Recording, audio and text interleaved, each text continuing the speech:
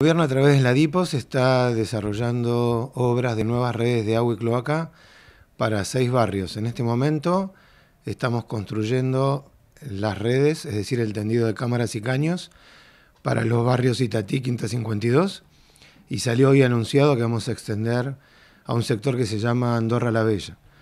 Y el lunes estamos firmando el contrato con la empresa Pablo Clausen, que ganó la licitación pública para llevar las redes también de agua y cloaca a los barrios Las Reinas, Leñadores y Cuesta del Valle.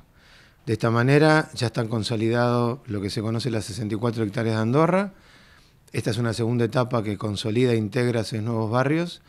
Y la tercera etapa incluye los barrios Siete Cascadas, lo que no se, se conoce como la Bajada de los Maestros y el resto de los barrios o de las urbanizaciones que componen este sector tan viejo y tan extenso en la ciudad de Ushuaia que lo llamamos Valle de Andorra. Lo que hicimos fue dotar de agua y cloacas a lo que se conoce como las 64 hectáreas, ampliamos la planta potabilizadora que está en el ingreso y en este momento estamos haciendo una obra complementaria que se llama repotenciación de la cisterna pastoriza.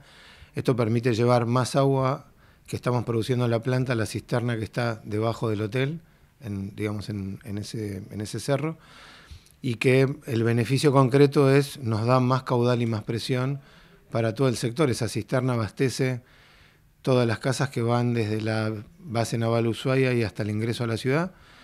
Así que es un sistema de inversiones que mejora en términos de agua eh, todo el sector y en términos de cloaca estamos en la etapa final de la construcción de la nueva planta Arroyo Grande que está justo detrás de la central termoeléctrica y de esa manera cerramos el ciclo. Producimos más agua, más barrios tienen en servicio, vamos a tratar correctamente las cloacas de todo el sector este de la ciudad, que hasta hace muy pocos años era un sector que no tenía ninguna inversión sanitaria.